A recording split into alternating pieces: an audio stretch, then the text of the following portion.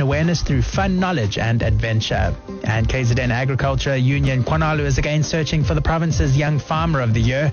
Entries for this year's competition close on the 28th of July 2017. The winner will represent KZN in the Toyota SA Agri SA National Young Farmer of the Year competition.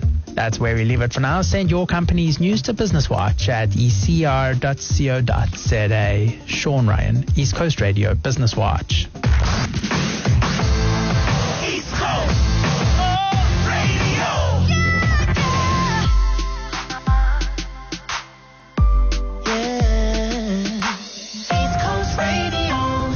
Right, guys. I know the votes are still coming in, but uh, who's it looking like it's uh, tipping in favor of?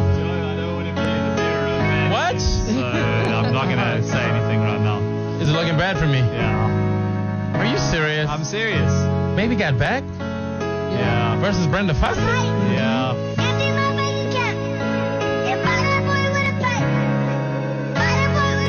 Send your votes 08 076 251 2360. All right. 076 251